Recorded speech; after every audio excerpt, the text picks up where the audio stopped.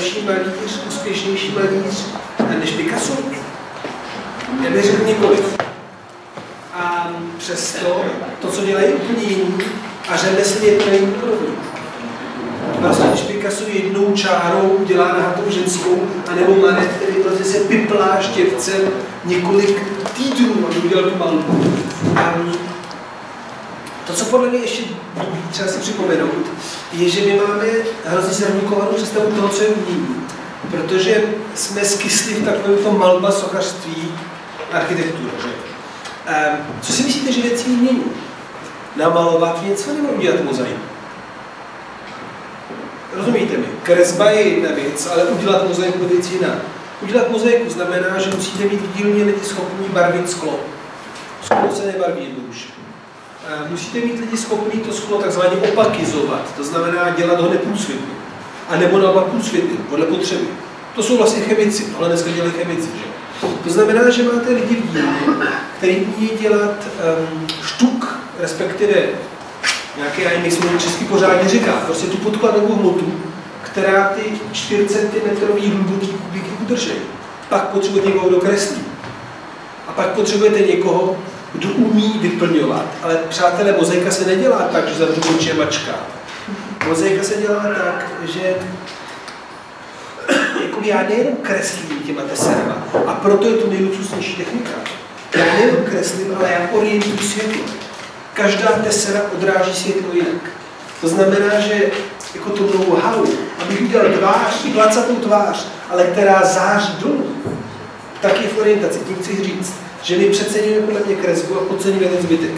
Ty lidi třeba v roce 500 používali jinou kresbu, kresbu ale to řemeslo bylo pořád extrémně silné. Takže bych řekl, jako asi jim to stálo za to. Um, protože vyhrávala údernost, vyhrávala čitelnost, vyhrávala komunikace. To vlastně neznáme dneska taky, že je jakoby úderná komunikace neúderná. Babiš to prostě umí a jiný to neumějí, ale ta dichotomie je jasná. Um, ta otázka toho impulzu je hrozně zajímavá a samozřejmě nemáme odpověď. Ale já mám jako podezření, že vlastně máme tak jako tři možnosti. Jedna je klub, um, já jim říkám magnifici quattro, ne sette, jakoby čtyřstateční, jo. Augustín, Ambrož, Jeroním a přidávám tím Paulína z Noli. To jsou čtyři chlapy. Um, dva extrémně vzdělaně vychovaný, to jsou Paulínus a Ambrož. Augustin skoro na stejné úrovni a Jeroným trošku jako jednodušší, tím myslím asi jeden z největších intelektuálů v té době, ale pořád to umí. To jsou chlapy, kteří si píšou s lidmi napříč kontinentama a určují kánon doby. To jsou opravdu ty, ty, ty, ty postavy. My od nich nemáme, kromě Augustina, skoro žádný texty o umění, že by teda říkali, jak jste vizuální kultura dělat, ale to málo, co máme od Paulína, ale to málo, co máme od Paulína a Augustina, je strašně silný. Takže já bych si typl, že tam je to prostředí, kde se od ty věci říkají, tak pojďme to zkusit. Ale pak ta druhá věc, a to já vždycky říkám, a to určitě ocení minimálně některé dámy tady, já vždycky říkám, že představte si Ostrovolodka a Římanka. Jdou na ulici a potkají se a Ostrogotka má naušnice jako paní kolegyně, takže jako černo-zelený. Ale Římanka má jako paní kolegyně vzadu. Bílou perlu. Teď si dámy potkají. A poprvé v životě vidí naušnici A a naušnice B. No a jedna z variant je, pojďme si vyměnit, nebo pojďme ji imitovat. Um, já bych nepodceňoval tu sílu to, jako opravdu setkávání těch národů. Když někdo přichází a má nádherné šperky a my máme nádherného něco jiného, tak hned chceme jako měnit. A to ale přirozeně přináší tu novou módu, že která nejde teda ze zhora, ale jde ze zdola, což je zajímavé. Takže řekl bych to vlastně. Jestli má někdo další dotaz nějaký. Můžu se? No. Já navážu na tu otázku Tomášovu, protože to je vlastně otázka po tom, co zakládá to uměleckost uměleckého díla, ale tady je vidět ten přechod do, do té plošnosti, že se mění výraz. A ten výraz z toho uměleckého hlediska může být silný, jak si mluvil ty řeči, že jeden to umí, jeden to neumí, a může být slabý. Jsou nějaké texty v téhle době, které by, které by aspoň náznakem hovořily o línii, o výrazu v línii, o plošnosti, jednoduchosti. Já nevím, třeba když, když eh, moderní umění se vrací jako k téhle lineární vizualitě RUO, tak ten výraz je extrémně silný a všichni to vidí. Mm-hmm. A na tom umění langobardským, o kterém ty hovoříš, je vidět, že i v tom výrazu je prostě určitá intenzita, která je mnohem silnější a určitá podoba eh, děl, které už jsou jakoby repetitivní, už ten výraz nemají tak silný. No a ono, to je, to je eh, obecně otázka vůbec toho, co je umění, že jo. A my vlastně říkáme, že doba premoderní, jako před renesancí, je doba, kdy není umění ve smyslu konceptu. Ta myšlenka vůbec neexistuje. A my nemáme úplně texty, které by reflektovaly to, co činí nebo ne ten artefakt, to dílo jedinečným a výjimečným, až na to, co se dochová. Si to dějí, v tomhle je zajímavá věc, protože víme, že některé věci, které všichni obdivovali, už nejsou. Ale my často nevíme, proč je obdivovali. My vlastně máme dokument, který řekne, tenhle prostor se mi líbí proto a proto. Ale víme, že to je výjimečně silné místo.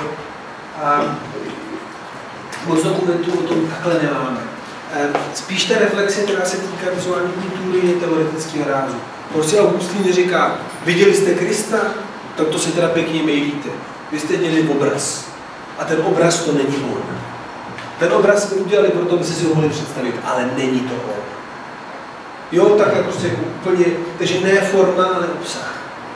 A to si myslím, že vlastně jako ta obsese toho, toho rodiče, že třeba jako pojďme po, možná i kvůli tomu, co předcházelo v Římě, protože v Římě těch textů máme jako, že hodně. A tady najednou pojďme na dřeň, pojďme na ten obsah a nechme formu hodně. Trošku to říká přehraně. A pak teda, pardon, ještě druhá věc, to by zase stálo za celou přednášku. My máme takový dějiny umění, akademický. To je jako dějiny všeho. Že nejdřív bylo to, pak bylo to, pak bylo to a pak na sebe navazuje. A to se píše kvůli nám a my to píšeme, jako, jako by vypadali, že v tom máme pořádek. A opak je pravdou. Já jsem vám ukázal opravdu skok, který je strašně zajímavý, je důležitý a týká se třeba na západě mainstreamu masových médií. To znamená velkých věcí. Tenkrát není televize, ale velký kostel. Ale um, vedle toho prostě jsou vesnice nebo městečka v severní Itálii, kde si objednají malíře, který přijde třeba z Konstantinopole a maluje tak, že se díváte na detaily, tak to vypadá o 600 let starší. Je, že my máme jako narrativní linii a pak máme prostě ty výjimky. Ale jsou to výjimky, nebo se bavíme, jo to je, já nevím, když jsem třeba studentů, zkusíme to. Prosím vás, kdo z vás by si pověsil na zeď doma Picasso ruku nahoru?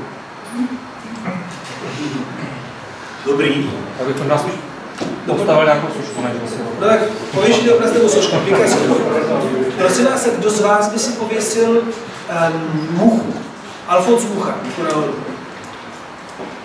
Dobrý. Alfons Mucha míň a jiný mimochodem. Kdo z vás by si pověsil Picasso a muchu? Ruku nahoru. Do jedné místnosti. Tak pár, pár je tady.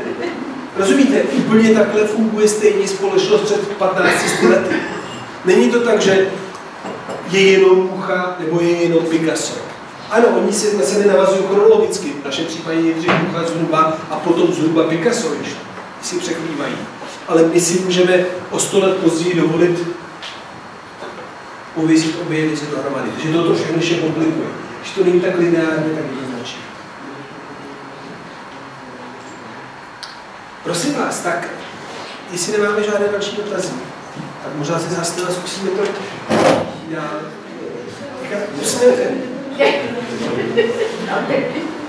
A tím pádem já extrémně vidím uh, přátelé, kde září obrazovky.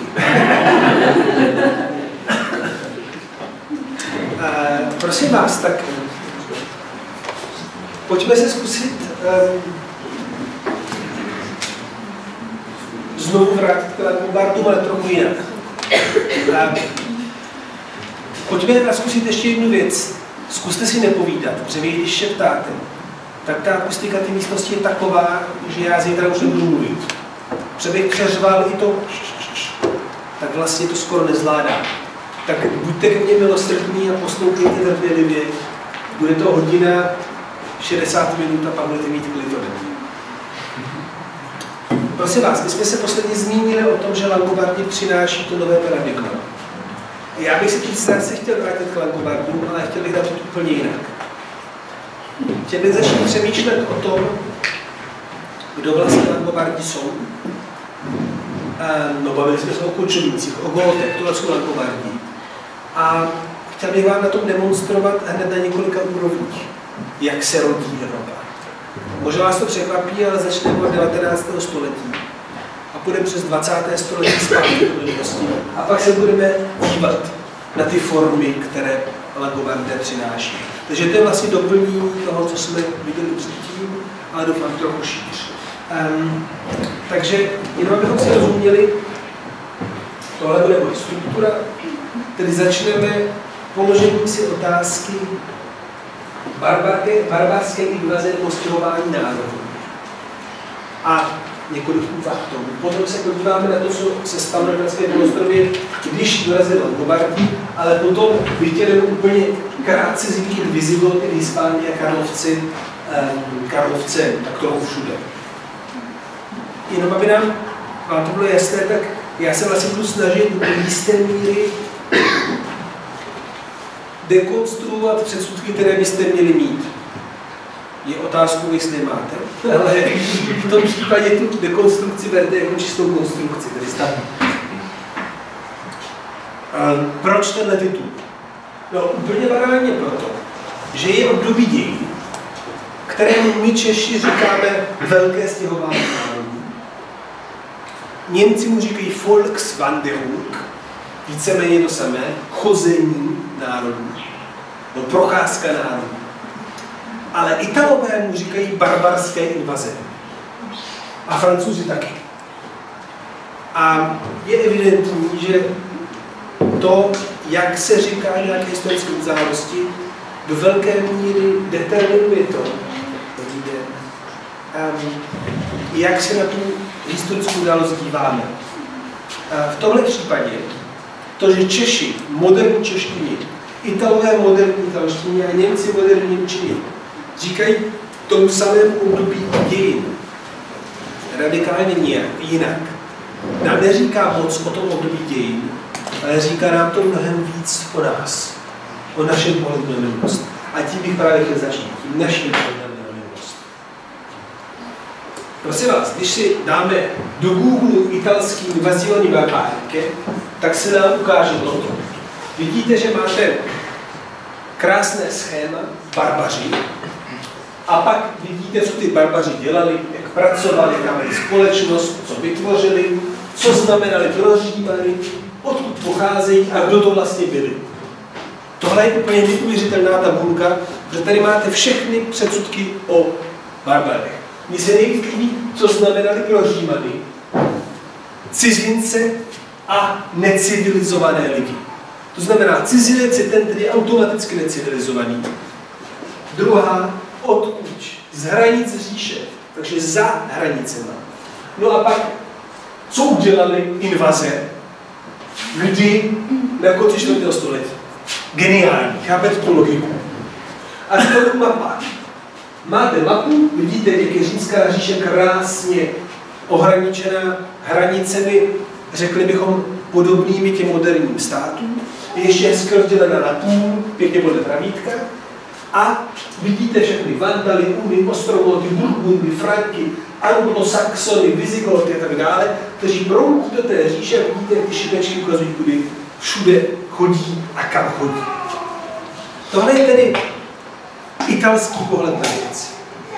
Když se podíváme do české přílohy, tak je to úplně něco jiného. Za prvé matka znázorňuje stěhování národů, žádné invaze, A tady už chápete tu základní dichotomii. Ital si říká, já jsem vlastně Říman a proto jsou to barbaři, zatímco Čech si říká, já jsem byl barbar a tím pádem je to stěhování národů. A máme to krásně. Hunové území říše na sklonku 4. 5. století, hranice. Vidíte mimochodem, že ty hranice jsou docela podobně načrtnuté, ale najednou jsou jako příjemné balónky, které se přemysťují. Nemáme tady ani stopu o tom, že by někdo někomu ubližoval. A tady máme krásný obrázek dvou kočovníků, kteří se jemně přemysťují směrem říše. Je evidentní, že tady máme dva zásadní jiné pohledy na minulost, které se projektují do moderních dějin. Notabene, a to můžeme říct rovnou, dnešní Ital má s Římanem stejně společného jako my. Co se týče třeba genů, nebo možnosti, že by naši předkové byli nebo ne na území říše. Jo? A italský poloostrov zažil každých 250 let, v posledních dvou tisíci letech nejméně příchod nových lidí od jinut. To znamená, myšlenka, že se Italové považují za Římany, je sice krásná, ale naprosto zcestná.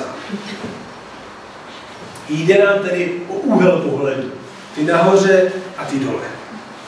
A prosím vás, já bych se chtěl podívat na ten italský úhel pohledu, který je podle mě v tomhle směru úplně klíčový. Um, tohle je velká historie Itálie, dějin Itálie, kterou píše Atto Vanucci, vidíte, léta páni 1851.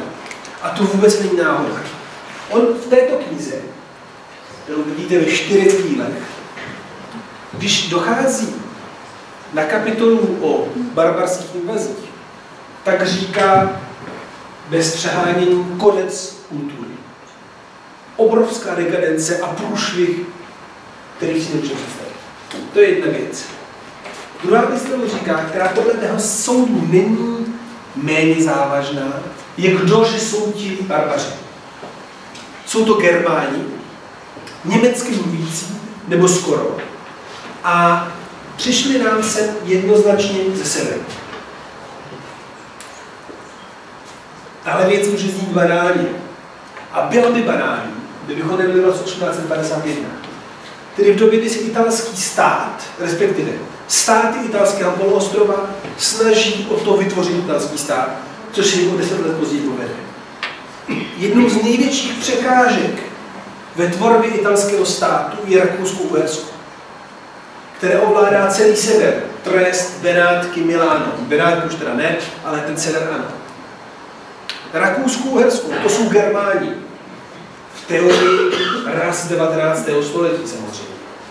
A tím pádem Langobard rovná se Germán, rovná se vlastně Rakušan. To znamená, že to, že já v roce 1851 mám problém s tím, že Rakušáci jsou ti, kteří dnes vládnou u nás, respektive v naší imaginární zemi, tak je důvod, proč tuhle tu nenávist projevovat Langobarda.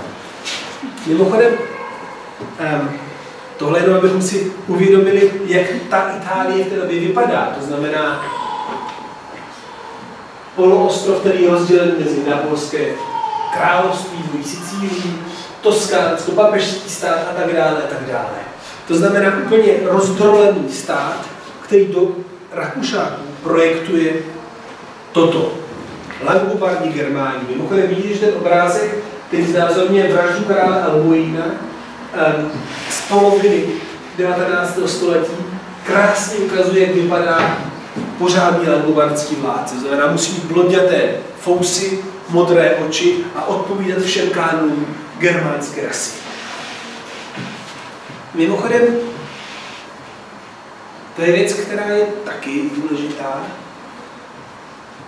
Ta myšlenka vůbec, že rasa um, existuje tak, jak ji potom bude vnímat třeba o sto let později Hitler, to není věc, která je přítomná napříč dějinami.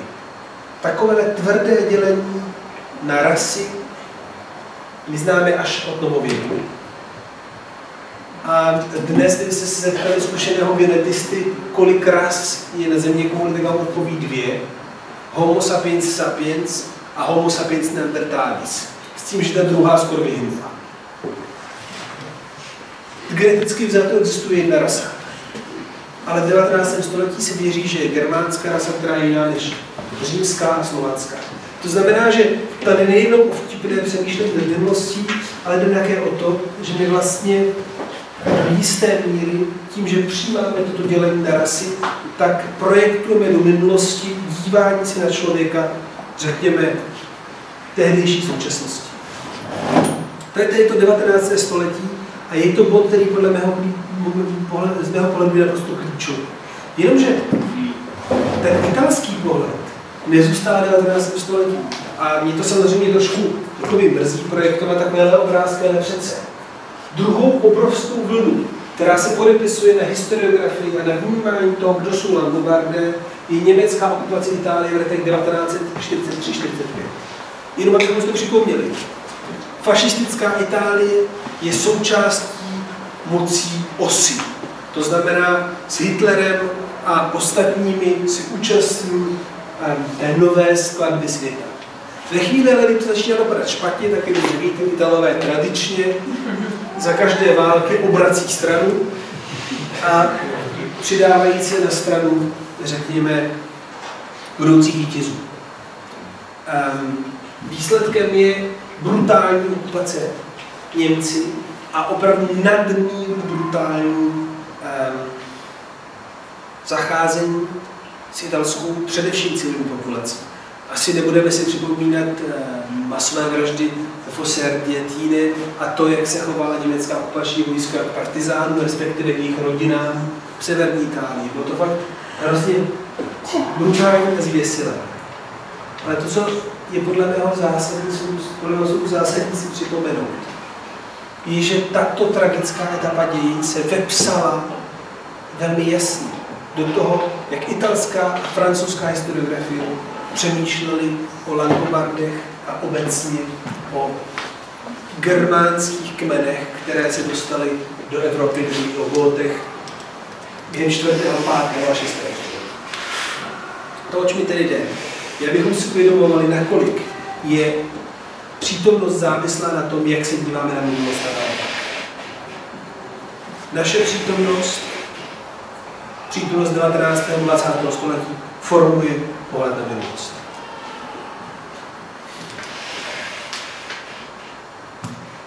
Musíme přidat ještě i druhou úroveň a tu do jisté míry například slesuje tato kniha Charles de Sicona de Montesquieu, jednoho z nejdůležitějších osvícenců 18. století, který v této knize de la grandeur des Romains et leur décadence, tedy o velikosti Římanů a o jejich dekadenci, prezentuje paradigma Evropy, v němž um, vše, co je dobré, končí příchodem kočovníků. A nic dobrého potom nebude až na konec takzvaného středověku. To znamená, že tedy, ale je to myšlenka, kterou známe samozřejmě z předchozích, od 16. století roste stereotyp, že příchod kočovních národů znamenal radikální řez, konec evropské římské kultury. Ehm, máme tedy minimálně tři stereotypy. Za prvé, barbaři jsou necivilizované populace žijící na hranicích říše, jejíž příchod zničí evropskou římskou kulturu. Za druhé, ti barbaři jsou Germáni. To znamená, že to Němci vlastně. A za třetí je, že pohrouží Evropu do opravdové doby temna. Myslím, že tak můžeme. Jaká je ale realita? A to si myslím, že je hrozně zajímavé, protože um, to můžeme zkusit aspoň načrtnout na základě toho, kdo byli třeba Langobardé a co udělali v Itálii. Prosím vás, um, Langobardé vstupují do Itálie léta páni 568. Podle slov Paula Diákora, tedy Pavla Jána, který na konci 8. století píše historii Langobardů, tedy jejich příběh, tak vstoupili do Itálie jako muž vstupuje do másla.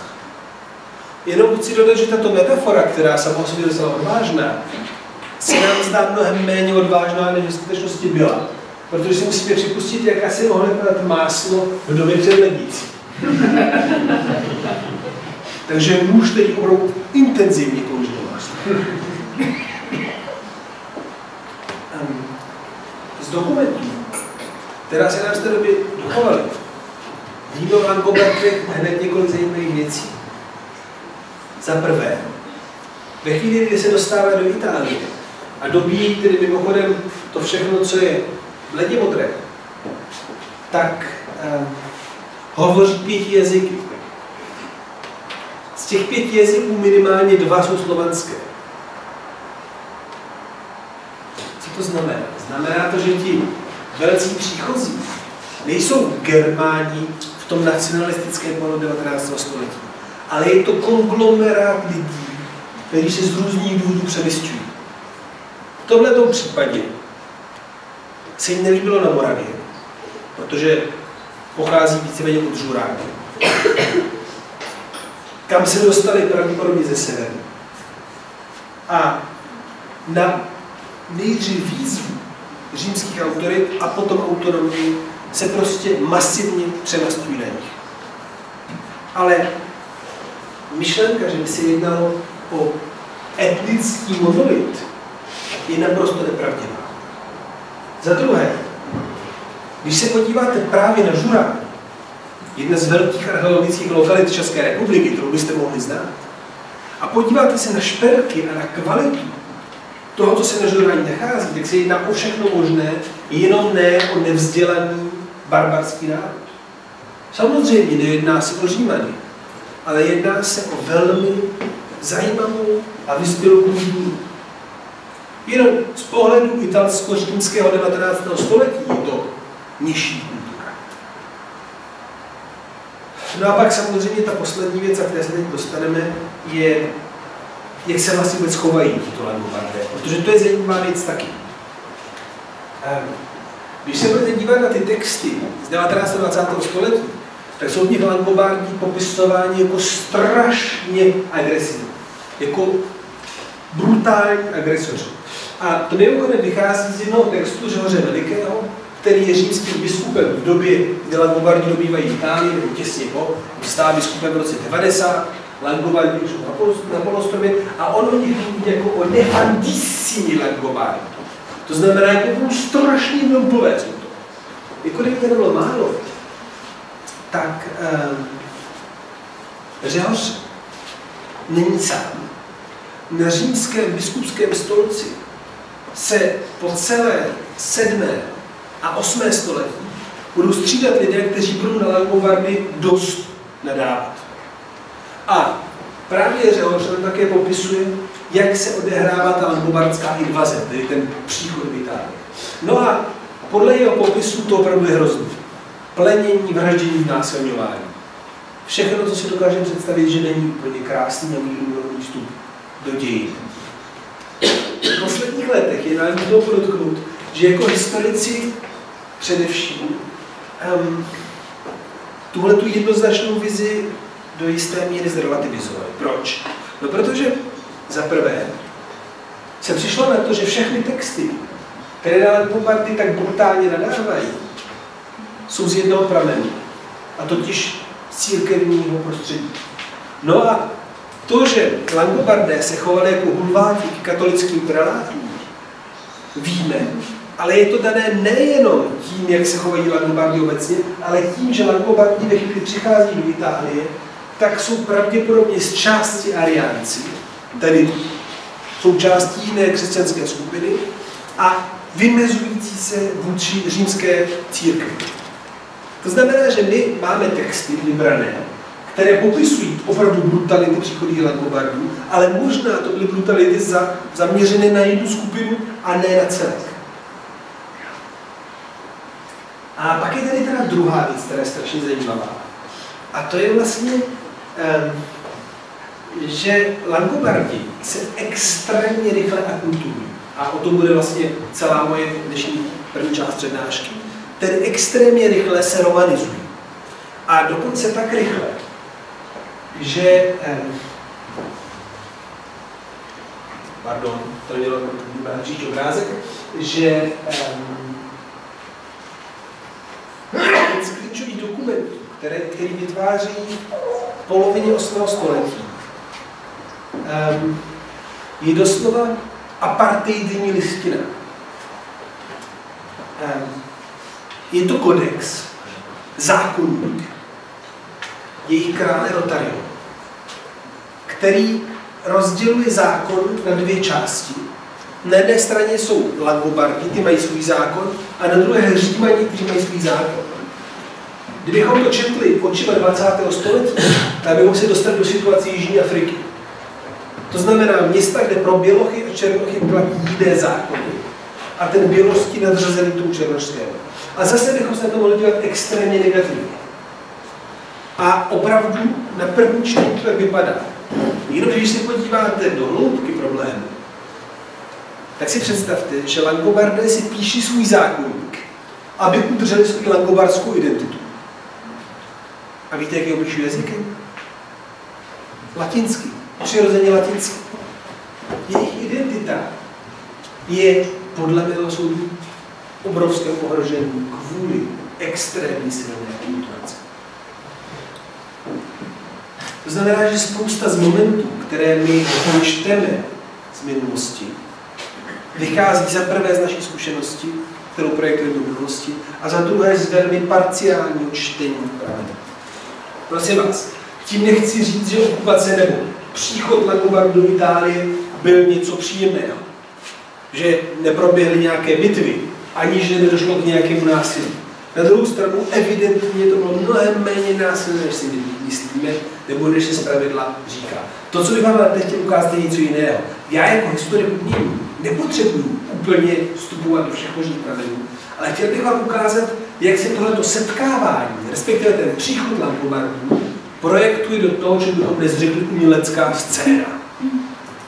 Prosím vás, abychom si rozuměli, tak nějak takhle vypadá vizuální kultura, kterou spolu Langobardi přináší. To znamená, jedná se především z toho, co je dochováno, samozřejmě, protože dřevo ani textíly se nám dochovaly, o šperky. Ehm, kdybyste měli tu možnost zajet si do Cividale del Friuli, tak v místním muzeu v horní patře najdete asi stovky, 150 langobardských hrobek. A langobardské hrobky jsou to místo, odkud máme nejvíc materiální vizuální kultury. Budete tam vidět obrovské procento předmětů, které jsou ze zlata, z tepaného zlata, jsou ze stříbra nebo z něla, z filigránu, prostě šperky. Mimochodem, ty šperky budou často vykládané drahokamy, jako třeba ten nádherný, nádherný orlík na nahoře. A nebo vykládané smalby. To znamená, že vizuální kultura, která přichází z Langobardy, je za prvé spojená hlavně s jedním médiem, to médium je z latinství, a není to překvapivá věc, protože přichází národ, který se přemysťoval. A šperky jsou samozřejmě hodnota, ale také jazyk, který můžete přemysťovat z pochopitelných důvodů. Druhá věc, a to už jsme si říkali v té minulé hodině, ta vizuální kultura Langobardů je extrémně úderná a řekl bych zjednodušená. Jde o esenci. Ten orel nahoře je prostě orel, tohle je další orel. Těch témat není moc, jsou velmi kvalitně dotažené a do jisté míry jsou A také důležitou roli hrají všechny možné dekorativní prvky, jako například toto. Um, když se podíváme na to, jak vypadal Řím v té době, tak prosím vás, hlavně si nepředstavujte tohle. Jo? Bílej Augustus Pontifex Maximus a dostavené se zlatou sochou, tak Řím určitě nevypadá. Tohle je sice krásná rekonstrukce formy urbis, ale plná takového ideálu 18. a 19. století, jak byl ten Řím celý bílý z mramoru a krásný. To, co velmi pravděpodobně eh, viděli ti, kteří přicházeli do Říma, v 5. století, bylo spíš něco takového. To znamená prostory pokryté zářivými mozaikami, jako v případě mauzole Velipačíně. Různé předměty, prosím vás, nezapomínejme na to, že antika není jenom bílej mramor. Slonovinové krabičky, zlaté tepané věci, stříbrné předměty. Mimochodem, tady psenotéka z Breší je arci artefakt plný strašně komplikovaných narrativních cyklů, které vlastně nikdo ještě nedokázal dekodovat. A do toho San Vitale, kombinace médií, to znamená, tahle je fantastická hlavice. Já nevím, jestli vám něco říkají antické řády, dorský, romský, korinský a tak dále. To byla ta římská klasická tradice, ale v pátém a hlavně šestém století už to bylo pase a tvořily se takové fantastické barevné koše vysekané z kamene, které z najednou ze slovů hlavic dělali skoro stromy, které prorůstají do barevné mozaikové klenby. Tedy nemáme si, nesmíme si představovat Řím jako šedé, uh, šedé moderní město. Um, Orlíka už jsme viděli.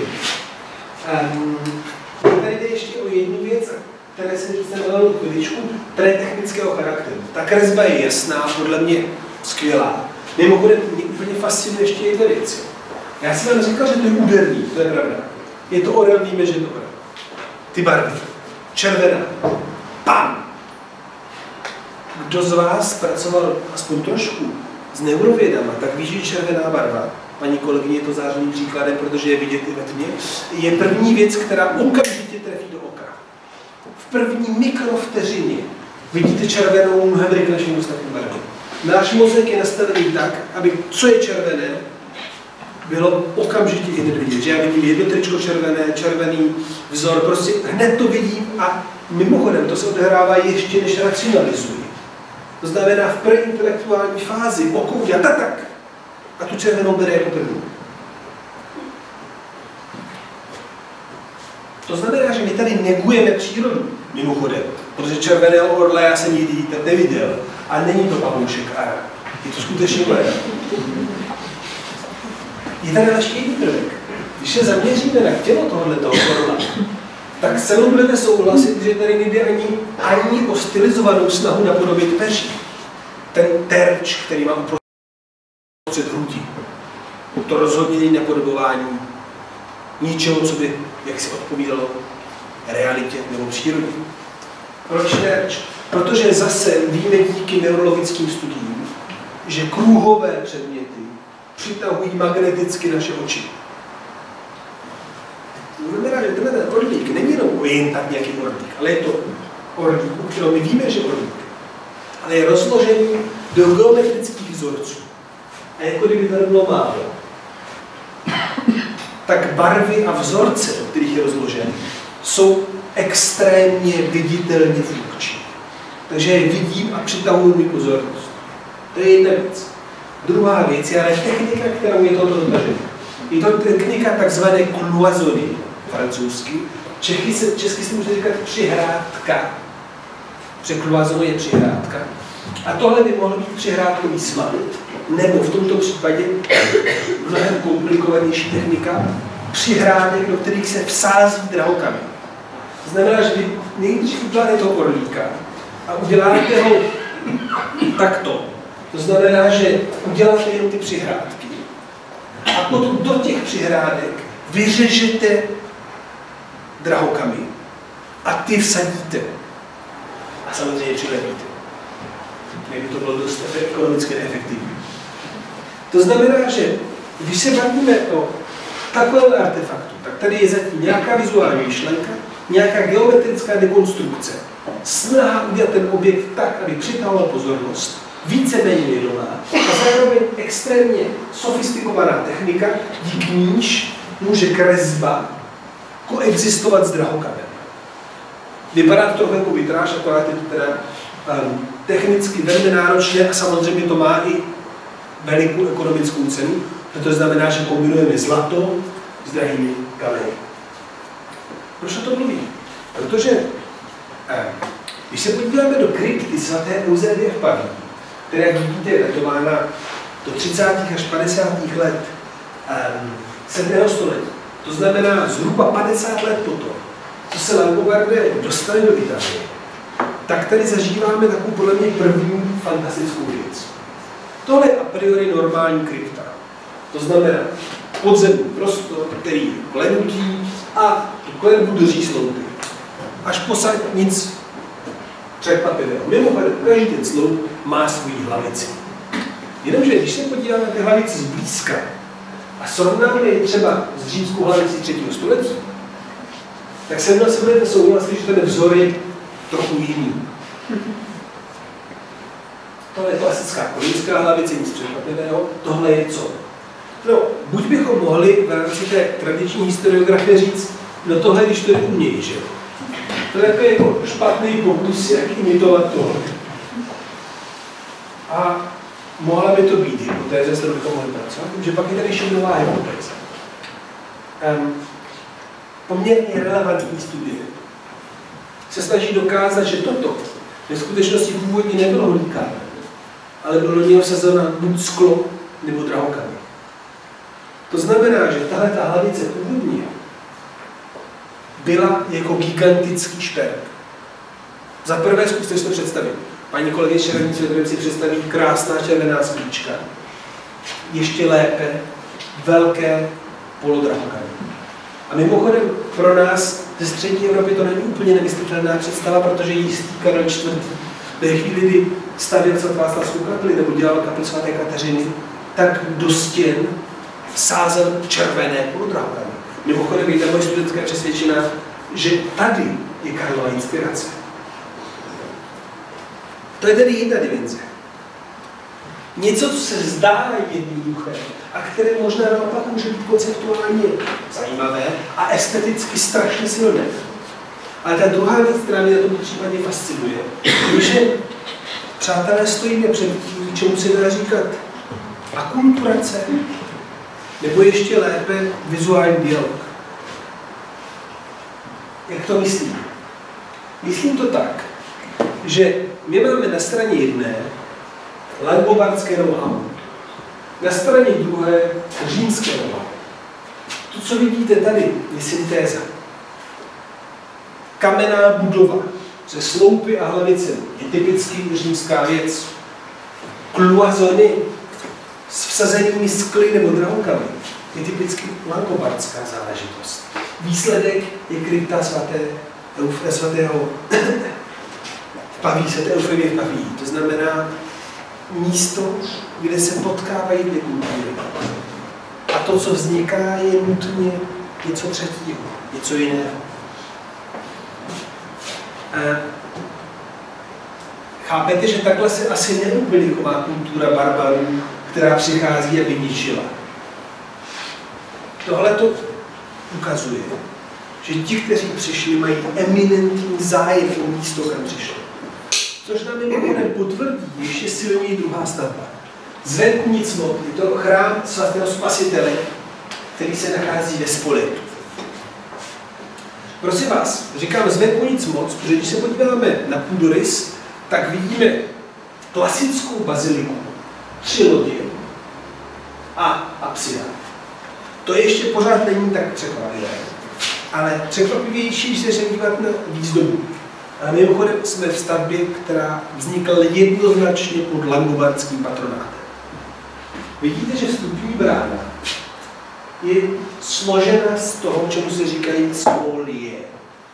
Prosím vás, spoliu, spolia, spolie je termín, který si používá proto, abychom popsali, když znovu používáme nějaký starý antický materiál. A teď prosím vás, na chvilku přestaňte přemýšlet jako Češi, to je důležitá věc. Protože Čech, který znovu používá, šetří. Jenomže tak to není. Když používáte spolí, tedy antický, monumentální kus, tak jak docházel už v polovině století Friedrich Deichmann, tak děláte extrémně neekonomickou věc. Proč?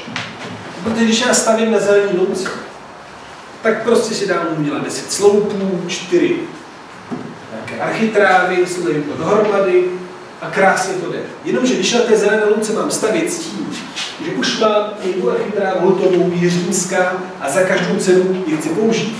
S tím, že chci použít zrovna tyhle kanelované sloupy, zrovna tam tu další architrávu a tam tu římsu. Mimochodem, že mám římsu, která je v absidálním tvaru a chci ji celou použít, no tak přátelé to znamená, že nejenom, že nešetří, ale že přizpůsobuju celou stavbu tomu, co už mám jako staré materiály. Rozumíte mi?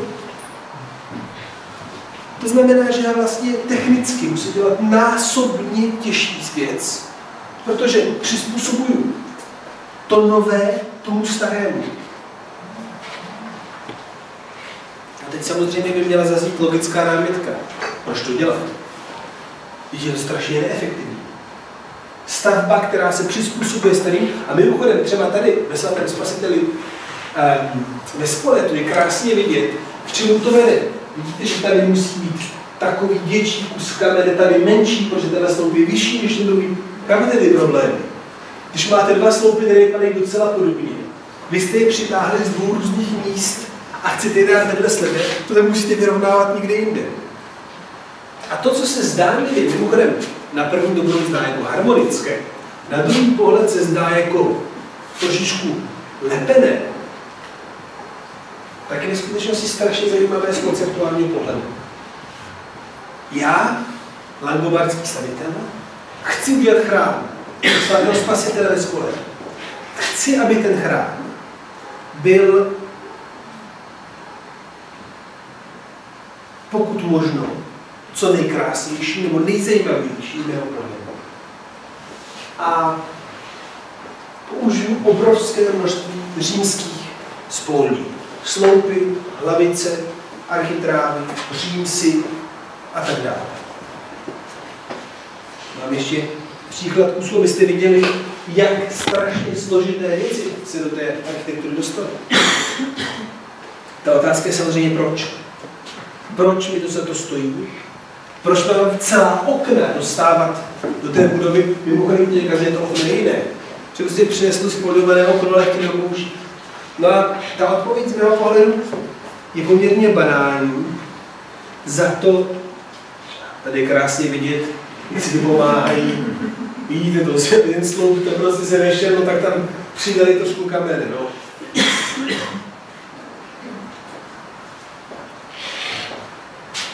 Tady je krásně vidět, jak stará říce doplněná křížem. Ale ta, ta otázka je proč. A odpověď je podle mého soudu strašně jednoduchá a přitom poměrně zásadní to paradigma, které jsme se bavili. Pak, když já si dám tak neuvěřitelnou práci, abych znovu použil materiál té kultury, kterou jsem dobil, je to proto, že já chci vlastně ukázat, že se, cítí, že se cítím součástí té samé kultury. Rozumíte mi? Představte si, že vy byste teďka extrémně intenzivně začali sbírat věci z 80. let. Začali byste si stavět domy, kde byste používali takové ty, jak jste jmenoval, no, prostě umakartové poklady na stěny a linoleum na zem pěkně a prostě všechno, co bylo spojeno s vizuální kulturou 80. Tak to by znamenalo, že jste vlastně těch 80. zamilování. A že si dokonce přidáváte práci, že stavíte baráky z materiálu z 80. let, to by bylo fakt nebezpečné. Protože chcete navazovat. A já si myslím, že svatý spasitel ve spovědky je důkazem, explicitním důkazem toho, že kultura Langobardů, těch takzvaných příchozích migrantů, nejen, že vstoupila do okamžitého dialogu s tou římskou kulturou, jak nám ukázal ten předchozí příklad v Pavíni, ale že dokonce, jak nám ukazuje tento příklad, je vyloženě až závislá na té minulé kultuře, do níž se začlenit. Máme tady ještě jeden příklad, který je krásný. Jedná se o štukové postavy v rámci právě toho městečka Čídalen Friuli. To bylo důležité jedno z hlavních měst langobardské vlády. Bohužel je strašně špatném stavu, dochoval se jenom fragment z toho, co tam původně byl. Ale i ten fragment stojí ze zníku. Vidíte, šest nádherných ženských postav s krásnými protaženými proporcemi, které jsou vymodelované ze. Um, ty dámy, jak vidíte, obchodují směrem k oknu. A my víme, že to okno původně nebylo zazděné dnes, ale otevíral se směrem ven. A také tušíme, že to nebylo okno, to víme jistě, že to nebylo okno s průhledným bílým sklem, to se v nedělalo, a že to bylo okno, které mohlo být uzavřeno buď barevným sklem, teď nemyslím nutně vitráž, ale třeba jednobarevné, samozřejmě rozdělené sklo.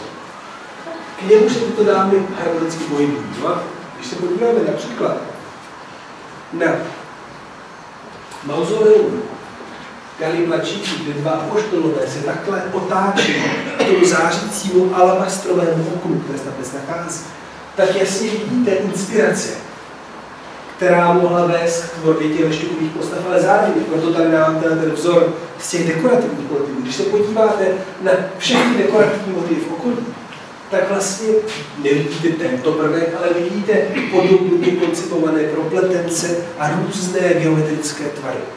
Což tím si říct, že i v případě, um, i v případě Intervieto um, Longobardo vidíme tu samou touhu po dialogu a akulturaci. Já mám ještě jeden příklad, který pokusím, no ještě máme čas, ale jako proletět trochu rychleji, protože ta myšlenka je velmi podobná. Jedná se o Agilulfovou destičku, která, jak vidíte, vzniká někdy kolem roku 600. Prosím vás, asi chápete, o co se jedná, pro jistotu mám to upřesním. Jedná se o hledí nad, hel, nad přilbou. To znamená, že tahle ta věc je vlastně nánosník a na Ladžilkově destičce vidíme znázorněného vladaře, možná Adjulufa, mezi dvěma vojáky, kolem dva anděle, kteří drží něco, co vypadá jako prapory, řekněme, pak si tomu dostaneme, a pak další postavy, které vystupují z měst. Prosím vás, tahle ta věc je zobrazení na přilbě langobardského vůdce, tedy dobyvatele. A jsme v prvních dvou desetiletích po dobytí Itálie. A teď jenom úplně strašně rychle se pojďme podívat na to, z jakých vizuálních prvků je to složeno. Tak za prvé, ta kompozice vládce mezi dvěma vojáky s kopím a s kulatým štítem, jako by z oka vypadla Missouri Teodózí, což je oficiální reprezentace císaře Teodózia I. velikého, datována až anno 381. Vidíte ty vojáky s kulatým štítem a s kopím. Za druhé, myšlenka, nebo série myšlenek, ale ta myšlenka přicházících mužů, kteří se koří před hladařem, je známa z této oficiální reprezentace pravděpodobně Justiniana I. Velikého na Rimtivu Barberí. Jako by to nebylo málo, tak tady máte ty detaily krásně znázorněné. Um, myšlenka okřídlených postav, které drží v ruce nějaké tyče, tak jsou známy v Triptychu Florš, to je replika 16. století, století vlády, ale vidíte, že zase je tam podobný vizuální koncept. A mimochodem,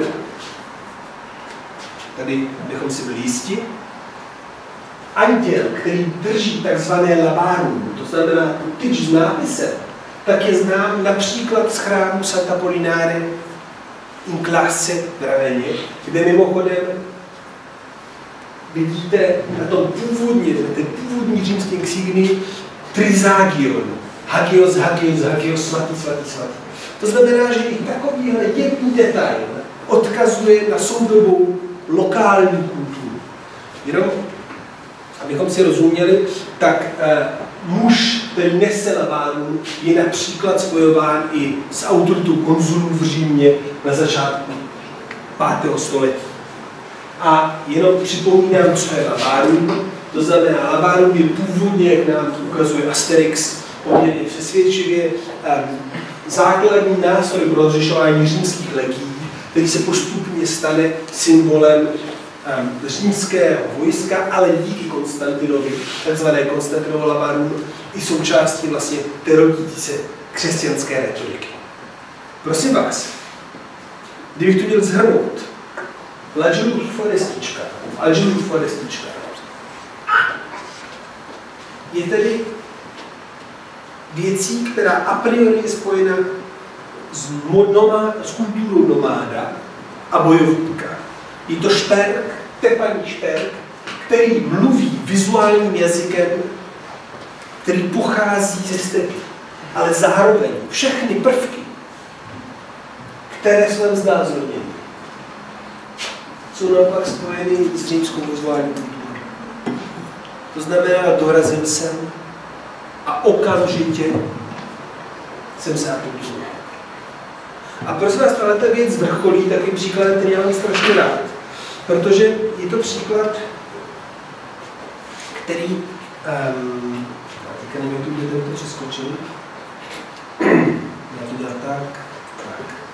Tohle jsme viděli, ale příkladem, který je podle mého soudu úplně z domu.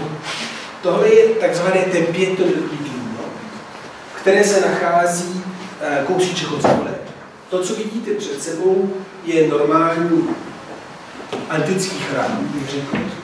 Vzadu je vidět čelna, tady krásně vidět fronton, ještě sloupy.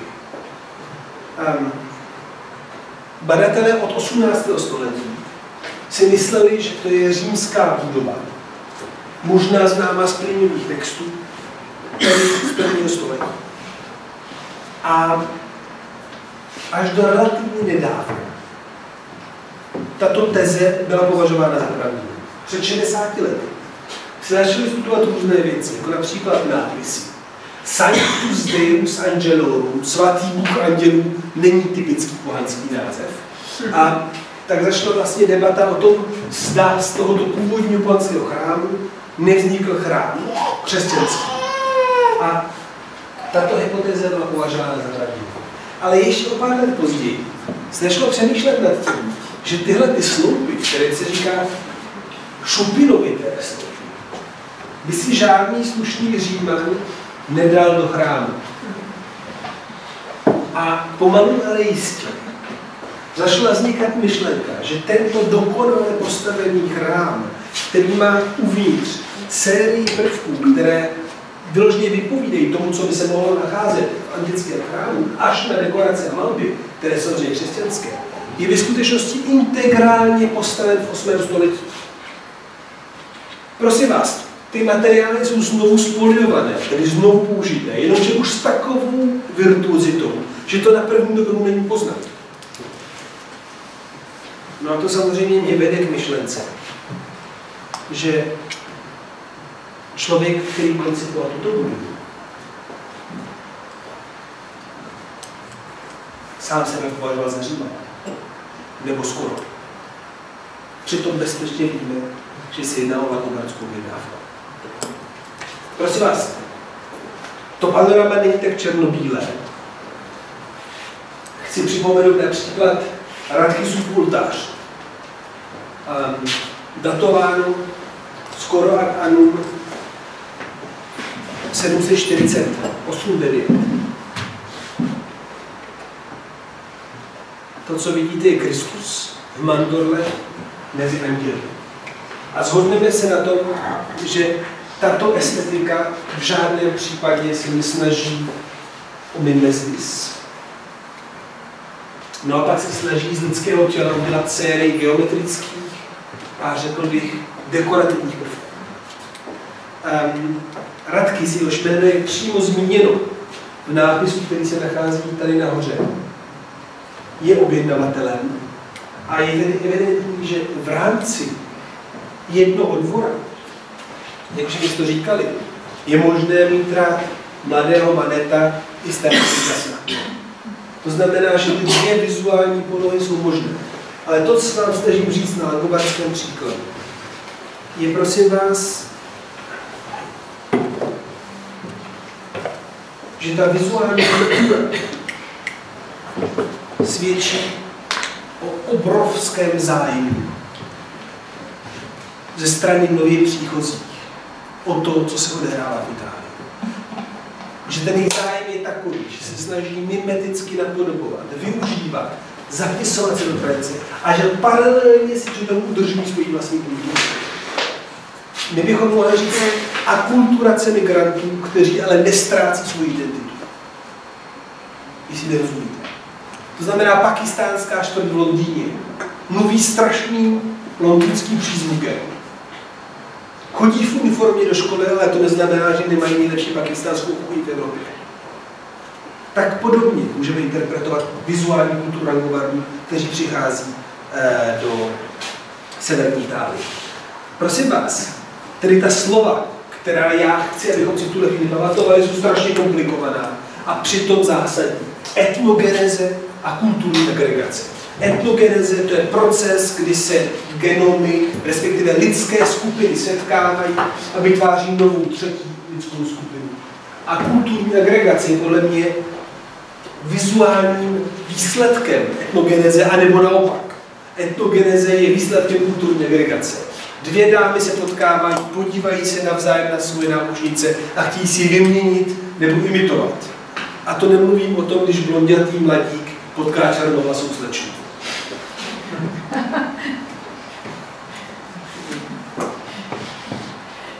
Štefan Bosa je artefakt, který podle mého soudu je možné považovat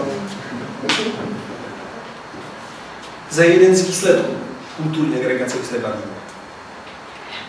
Zdánlivě neuvěřitelné množství drahokamů bez zdánlivého pořádku by mohlo vypovídat o té tradice přicházející ze stepí.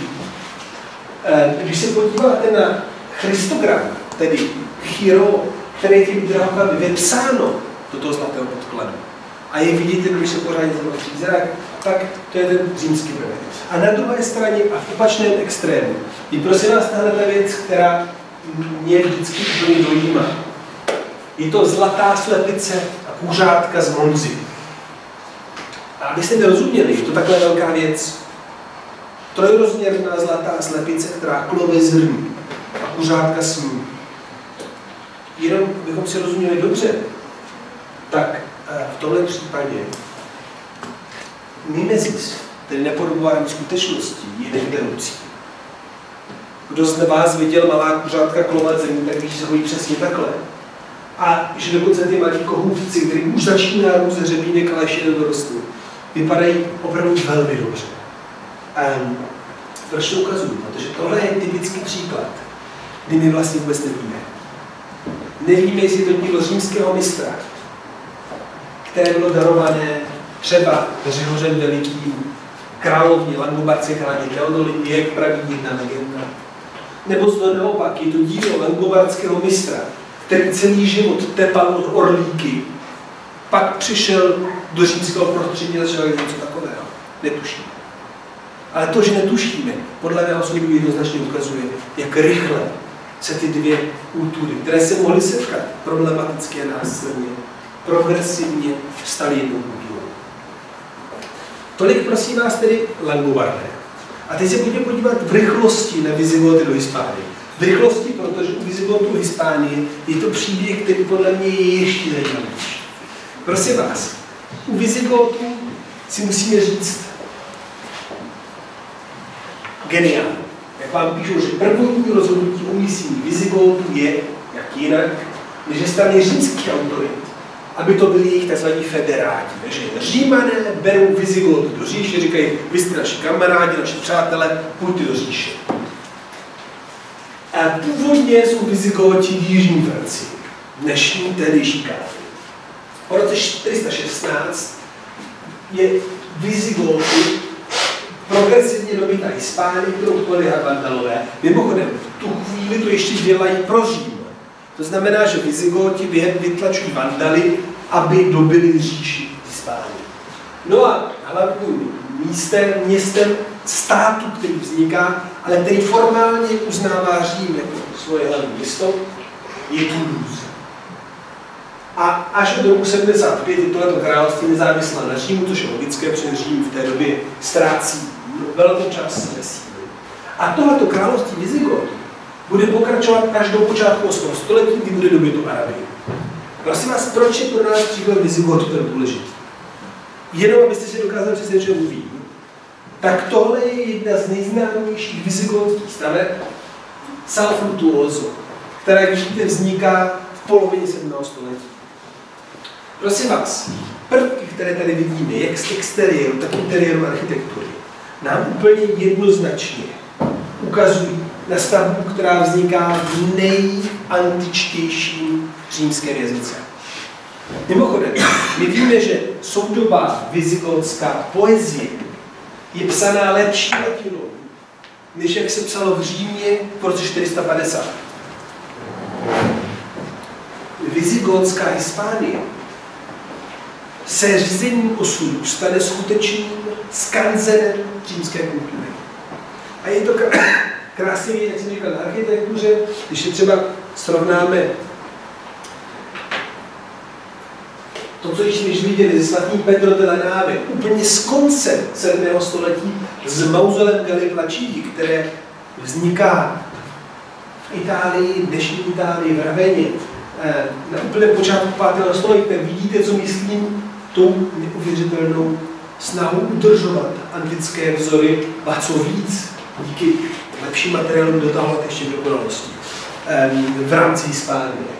A to samé můžeme říct o dekoracích, které jsou extrémně antikvizující a samozřejmě o závěstních korunách v rámci pokladů Guarazán, které jsou součástí toho, co víme o vizigotské vizuální kultuře.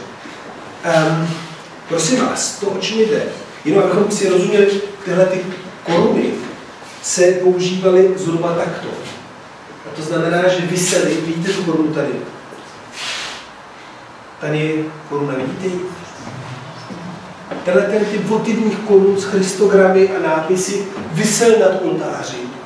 A bylo to typická dekorace pro římský chrám, křesťanský chrám na dobré úrovni. Guarazhar jeho pokladnice, no poklad, nám ukazují, že v rámci vizigotské Hispánie se římská kultura vlastně udržuje až do hlubokého 9. století. A to i pod bytí Arabami. A že prvky, které můžeme nacházet v těchto stavbách, ukazují na jistou formu neuvěřitelné konzistence mezi tím, čemu by bychom říkali antika a středověk. A co to znamená, když mě úplně jakoby tady se pokusit dostat na tu nejjednodušší úroveň? Znamená to, že v případě Vizigotu příchozí migranti nejenom, že nezdecimovali kulturu, do níž přišli, ale naopak tu samou kulturu zachránili, prodloužili a dokonce pozvedli. Isidor ze Sibie píše asi nejlepší latinou po Augustinovi, bych si to mohl říct. To znamená obrovský básník a teolog, který zvyšuje kulturu místa, kam přišel, v návaznosti na tu kulturu samotnou. To je hrozně zajímavý fenomén. Měli jsme Langobardy, kteří se akulturovali na to, že se stali římštější než římané a přitom si udržovali svoji vizuální kulturu. Máme Vizigoty, kteří jsou ještě římanštější než římané a kteří naopak pozvednou tradiční římskou kulturu. Papežtější než papež a ne kulturní skanze. To je podle soudu to, co můžeme říct o, o, Vizigotech. No a úplně na závěr, protože máme ještě 10 minut, ale vidím, že vaše únava stoupá a obrazovky svítí že dál intenzivnější některých, v některých rozích. Tak eh, se pojďme podívat na poslední skupinu, která přišla um, do Evropy. Ona nepřišla tak pozdě, ale začala stoupat v důležitosti až, um, řekněme, 8. století i když už od 6. století, od 5. vlastně hraje prim. Je to otázka Franků, kteří dosáhnou jistého pomyslného politického vrcholu období Karlovské říše. Prosím vás, Frankové jsou poměrně zajímavá záležitost, protože jsou to jedni z těch příchozích. A mimochodem Frankové jsou ti, kteří vytlačili Vizigoty do Hispánie.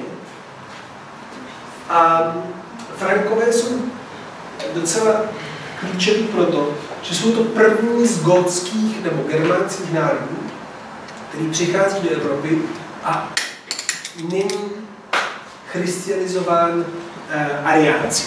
Vůbec se nebudeme vstupovat do, do debaty o těch dvou skupinách. Ale v podstatě jsou Frankové po christianizaci přirozeným spolupracovníkem Říma. A to bude v jejich dějinách hrát velikou roli. Každopádně se dostanou na území, řekněme, dnešní Francie a Německa, západní Německa. A progresivně v době Karla Velikého vytvoří říše, které jste určitě všichni slyšeli, které se říká Karlovská říše. A Karel sám, jak dobře víte, bude v roce 800 papežem III. na Vánoce korunován novým římským císařem. Tedy je to návrat, alespoň politický návrat římského císařství. Ta obecná pohádka, kterou vypráví historický, a už vám je říkají i historici na hodinách historie, je, že tedy je římská říše, která zaniká, je doba temna a pak přichází Karlovci. To, co se vás právě pokusím ukázat, je, že to úplně není. Že ten dialog s Římem je neutuchající po celou tu dobu, um, až do roku 800. Ale je faktem, že s Karlem se děje něco nového. Pro mě je ale strašně zajímavé, co vám teď chci ukázat. To je Kudeskalkův evangeliář, který vznikl v Cáchách. Vidíte v 80. letech. Tohle je korunovační evangeliář, který vzniká také v Cáchách v roce 800. Prosím vás, jsou si ty věci podobné nebo ne? Ne. A proč ne?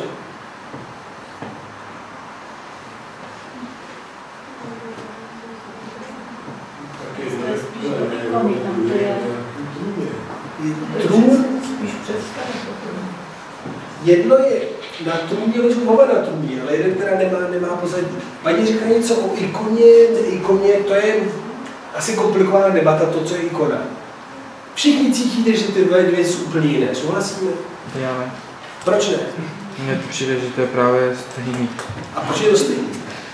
Protože tam jsou určitý vlastně symboly nebo rysy, které vlastně jsou dost opakované. Jako? Kniha.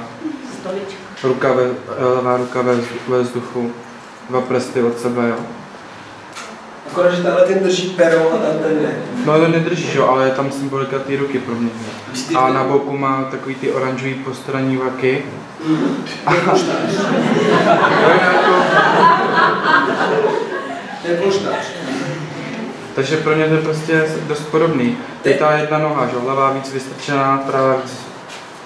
Máte úplně pravdu a zároveň souhlasím s většinou. Totiž vy mluvíte o tom, čemu my historicky říkáme ikonografie, vy ostatní mluvíte o stylu. To znamená, vy mluvíte o tom, co je nakresleno.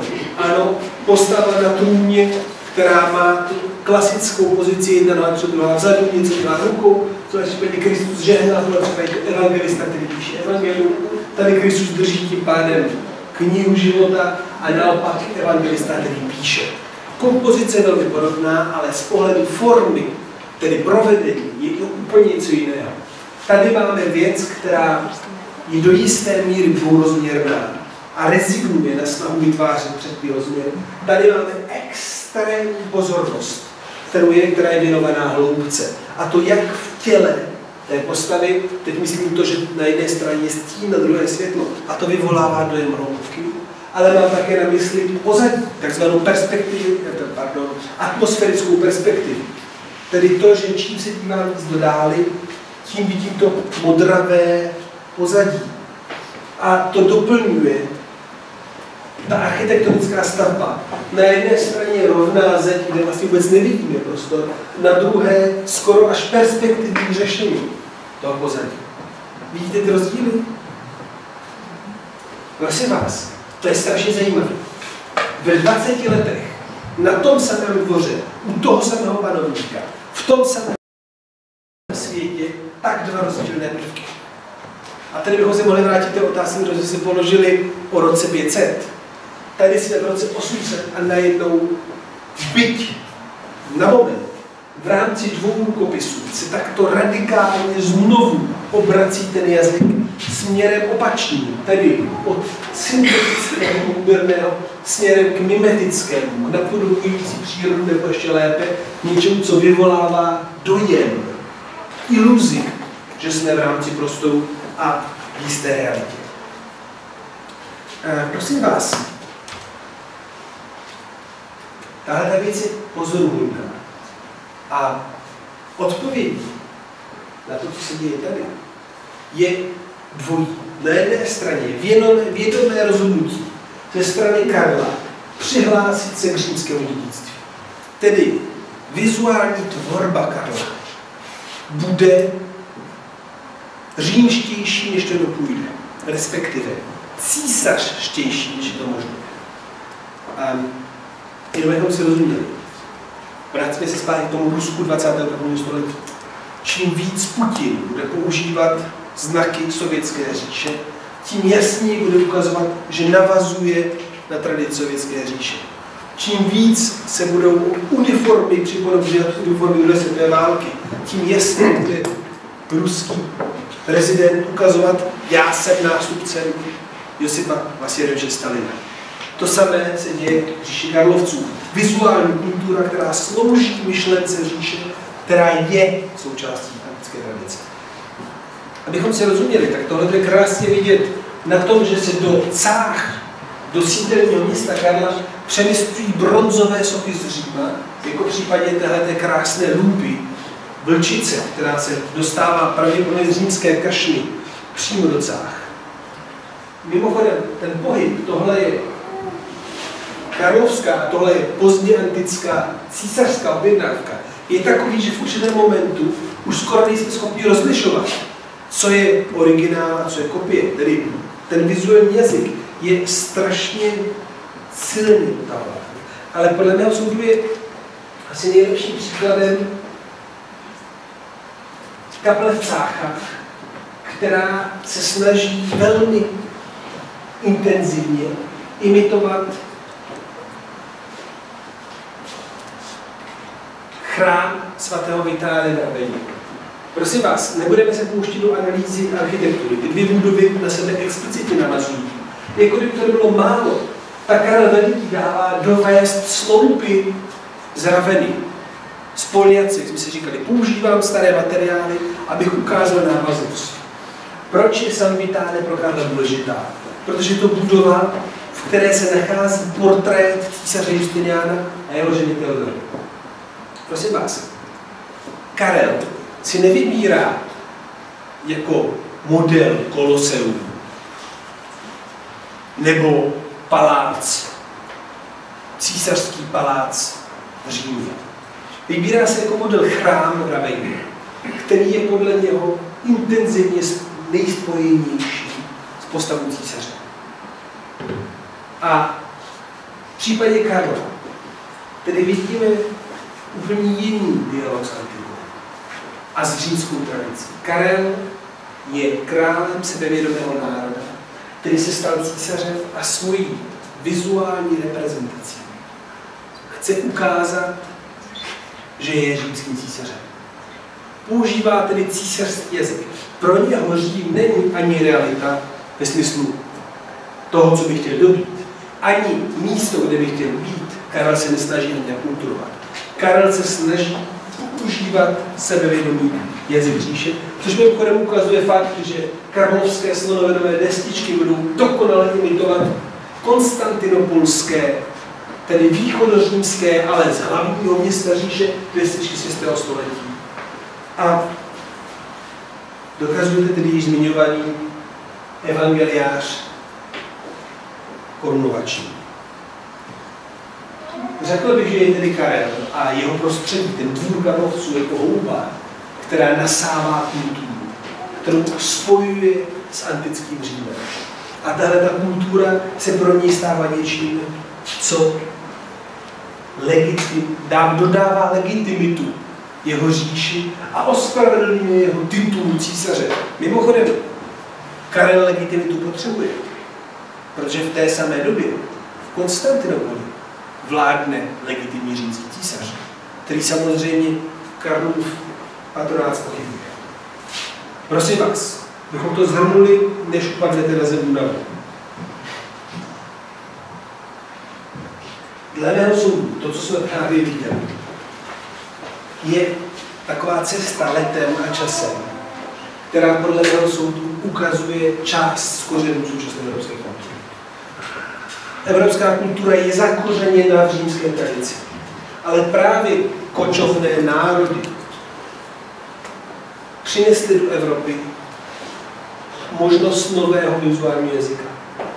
Úderného, geometrického a jasně čitelného. Tyhle ty nově příchozí se ale extrémně rychle akulturovali a přijali římský univerzální jazyk za svůj vlastní. A dalo to tím vzniknout té dvojí možnosti evropské kultury. My jsme schopni zároveň, a vidíte to na obraze tady kolem vás, pracovat s mimetickou vizuální kulturou, kdy se snažíme napodobovat do jisté míry přírodu a používáme jeden typ jazyka, ale když je to potřeba, a to je třeba jazyk reklamy, tak jsme schopni zároveň jít mnohem abstraktnější a konceptuálnější cestou. Tahle ta nová Evropa by nebyla myslitelná, kdyby během 5., 6., 7. století do nepřišli ti druzí, kteří svým přinesli nové paradigma, které vlastně dalo Evropě energii, z které do jisté míry žijeme do našich dní. Děkuji za vši pozornost.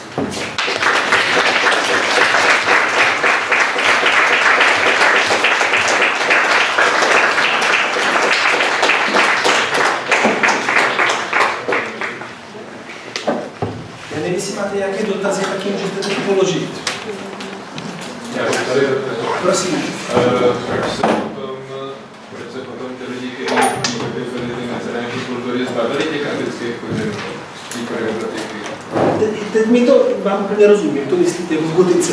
No, no, protože mě před, já jsem se jako základce učil, že vlastně spádem římský říše, tady byl ten středověk po celé Evropě a vůbec tady byla ta kultura úplně upadla a vy jste teda říkal, že to není zas až tak celá téma. Neříká, to ukazoval. No a, tom, a pak jsem si říkal, jak to, že teda renesance je znovu zrození antiky, když ona nikdy neupadla podle tohohle. A tak jsem si říkal, jestli náhodou to není tak odlika, že se, se vzdali antiky a potom se teda mohla znovu objevit. Ne, ne, kdyby se podíval třeba na rok 1200 a zajel si do Klosterneuburgu, kde Mikuláš z Verdenu, Klosterneuburg je od Vídně, udělal v roce 1181 oltář, který je považovaný za začátek stylu 1200, tak byste měl extrémně antikizující smalty. Kdybyste si zajel do Remeše, kousek nad Paříž, a podíval se na hlavní portál, královský portál Remeše, tak byste tam viděl Alžbětu a Marii při navštívení, které vypadají jako dvě bohyně z prvního století. Úplně mokré drapéry, které omotávají jejich tělo, ale hned vedle, v tom samém prostoru, nádherného smějícího se anděla navštívení, který je strašně gotický. Obě ty dvě věci si nikly deset let od sebe a jsou na tom samém portálu. Podle mě celá myšlenka dekadence a toho návratu je spíš psychanalytický problémický než historická. My potřebujeme, myslím, teda Freud si myslí, spíš než já, že my potřebujeme mít pocit, že rozumíme tomu, co bylo a to, co, co bude. A když vytváříme mechanismy, které se opakují, tak máme pocit, že máme kontrolu nad svým životem, nad svým smrtí. A tím pádem historicky projektujeme do minulosti a vlastně pořád trochu do budoucnosti schémata, která jsou cyklická. Opak je pravdou. Historie se nikdy neopakuje a koncepty dekadence a vzestupu, hlavně na úrovni formy, jsou většinou víc nepřesné než nepřesnost sama. To znamená, že já bych vám dokázal najít během celého takzvaného středověku příklady koexistujících vizuálních modů. Stejně jako kdybychom se snažili, tak v této místnosti najdeme někoho, kdo má na sobě retrokalhoty 80. let, někoho jiného retrokalhoty 90. let a někoho jiného, kdo má na sobě něco retro 60. let, jestli mi rozumíte. Stejně tak během toho tisíciletí koexistují kultury. To neznamená, že nejsou velké změny, a to neznamená, že nejsou paradigmatické změny. Ale není to jenom černé a bílé, nejsou vzestupy a dekadence. A ještě navíc, právě ty kočovníci ukazují ještě jinou věc. Ano, opravdu. Řím 5. století je globální, co se stříde středomoří. Tam se to opravdu dělá tak, že z primární sklo se dělá v Syrii, sekundární se zpracovává, já nevím, v Římě a ty tesery, když je potřeba, se použijou ještě někde jinde. To se fakt Římě děje. A sarkofágy se z mramor na třech místech sváží do Říma. Někdy se to opracovává tam, někdy se to opracovává v Římě. To je globální středomoří. Je pravda, že od 5. století ta společnost bude mnohem nuklearizovanější. Ale to, co já jsem se vlastně snažil ukázat, je, že ta změna vlastně přináší tu možnost něčeho nového. A tím pádem už vlastně nemůžeme přemýšlet jakoby ze stupě dekadence, ale musíme přemýšlet spíš nad jakoby bohatství, kulturní bohatství. A jak dobře víte, cretinus alpinus je terminus technicus pro lidi, kteří žili vysoko v Alpách a s někým jiným se nemíchali. A velmi rychle si mozek začal trošku zmenšovat, že jo? Prostě kultura je tak trošku jako lidský genom. Čím je bohatší a čím více má jako vnějších faktorů, tím je bohatší a tím roste víc. Čím je izolovanější a odříznutější, tím je to složší. My naštěstí ve střední Evropě máme štěstí, že máme politiky, kteří si myslí, že se máme izolovat, ale zaplať pánu jsou na půl Japonci, na půl Slováci, že se Máme ještě nějaký další dotaz? Já bych se chtěl zeptat, eh, ty jsi hovořil o tom Agilufovi. A to byl Langobarský kraj, se nepletu, na severu Itálie. A do značné míry eh, byl ovlivněný kontaktem se svatým Kolumbánem. A to nejenom po stránce kulturní, ale taky diplomatické a eh, vlastně tam bylo několik válečných stavů. Ty válečné stavy nakonec Kolumbánova diplomatická mise se svatým stolcem urovnává. Jakou roli v té akulturaci, o které si hovořil, hrály kláštery? No, to je veliká otázka. Ještě mimochodem ten Kolumbán, to je další věc, kterou mám rád, že víte o tom, že Kolumbán? Kolumbán je normální starý vír. Jo? Takzvaně iroskotská misie. Prostě křesťanství se dostává i na sever do Jirska, úplně autonomně od Říma. A oni jdou ze severu a přináší tu iroskotskou kulturu. To je jeden z důvodů, proč napříč Evropou máme celou takový ty jejich pletence, ty věci. To přišlo ze severu, že jo. Um, takže ta iroskotská misie má obrovský smysl pro to formování dvojí Evropy, nejenom jednolitý. A e, role klášterů um, na italském polostrově je klíčová, protože Benedikt a tím pádem celá otázka Messina, protože máme celou sérii klášterů um, spojených právě um, s tou iroskotskou misí, které jsou tady za Alpami, jako třeba St. Gallen, nebo právě příchod Kolombána, až na tenhle dvůr. Um, řekl bych, že mají menší roli než potom. že v 6. století ještě klášter není tím místem, protože jeden na změn, mimochodem objektivních změn v té jakoby, geopolitické situaci že jestliže do 6. století včetně je město tím klíčovým kulturním místem, tak od 7. a především 8. století dál bude město postrádat tu tvůrčí energii, která půjde do klášteru a do, do ekleziálních jednotek. A to je opravdu jako veliká změna v rámci dějin Evropy.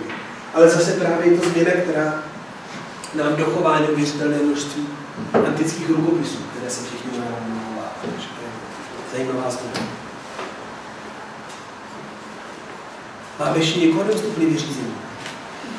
Budeme muset, Mě eh, zajímalo, kolik přijde zítra chudák. budeme muset eh, dnešní čas ukončit, protože my máme objednanou hospodu. eh, Kam bychom vydrželi. Kdybyste měli nějaký dotaz, tak si ho nechte na zítra, protože budeme pokračovat v jednu hodinu.